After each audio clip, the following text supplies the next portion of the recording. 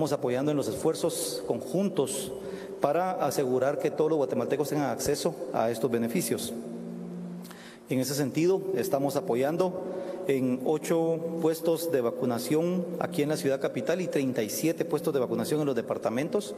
los cuales funcionan en diversos horarios, eh, arrancando de 8 de la mañana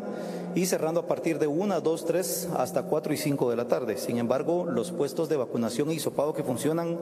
en el Mariscal Zavala y en la Guardia de Honor están funcionando de 8 de la mañana a 8 de la noche.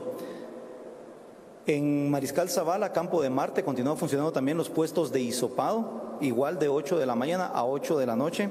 Y en estos puestos estamos atendiendo a personas a partir de, las, de los 10 años de edad en adelante. Ambos puestos son puestos eminentemente peatonales, sin embargo, en los dos lugares, si hay personas que van con problemas de movilidad y necesitan ser atendidos en su vehículo, hay mesas habilitadas específicamente para ese fin.